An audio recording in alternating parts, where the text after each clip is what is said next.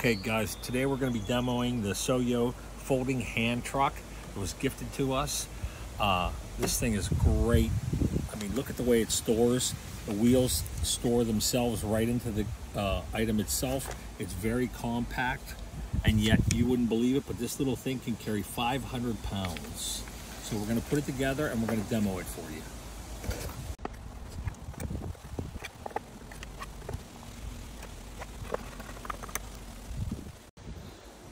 Okay, so we just installed the wheels. Be mindful, there are four of one kind and two of another. These are the straight wheels. These are the steering wheels, the uh, swivel wheels.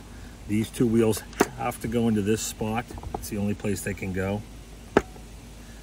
Okay, so to take it and open it up, you just push this red button. That pulls out the opening because this it extends out for you to carry something longer then you want to open the handle. It's a telescoping handle. It has three settings. Carry it all up, all the way up to here. So say we want to carry cooler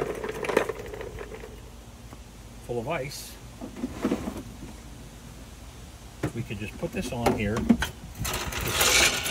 Comes with two bungee cords to tie whatever you are carrying down.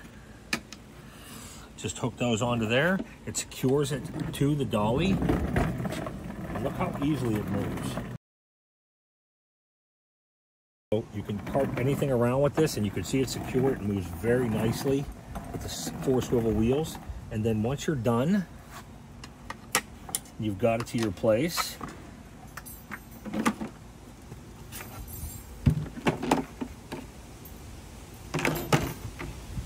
Folds up very easily. Great for storage back where you have to put it. Look at that. There's nothing to it.